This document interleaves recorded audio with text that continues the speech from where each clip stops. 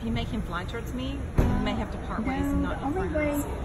Look at his lips. Do grasshoppers have lips? What are those things down there? His chompers. He's got really big chompers. Okay, I'm. Um, Sorry. Get him off! Get him off!